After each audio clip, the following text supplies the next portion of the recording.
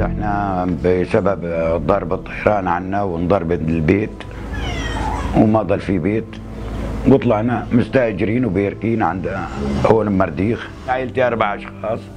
شغل ما في والواش الوضع المعيشي.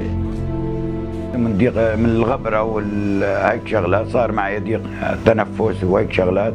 هو عندنا ما له قدرة يروح على دكتور خاص. لأن دكتور الخاص والدواء برا وهيك شغلات.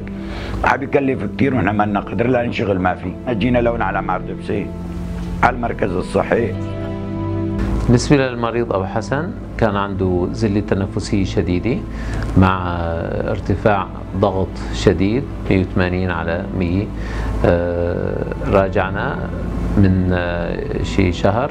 أعطينا بخاخات موسعة للقصبات نصحنا بالتوقف عن التدخين طبعا تجاوب معنا بشكل جيد والحمية عن الملح وأعطينا دواء الضغط. فالحمد لله رب العالمين استقر وضعه بشكل جيد.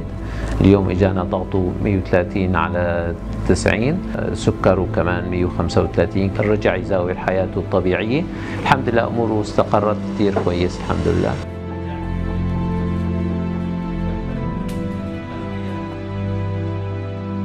بالنسبة لمركزنا نحن إن شاء الله راح نحاول نرفع مستوى الأداء ومستوى الخدمات الطبية اللي عم اللي عم نقدمها للمرضى بحيث إن شاء الله نحقق أفضل نتيجة ممكن إن شاء الله.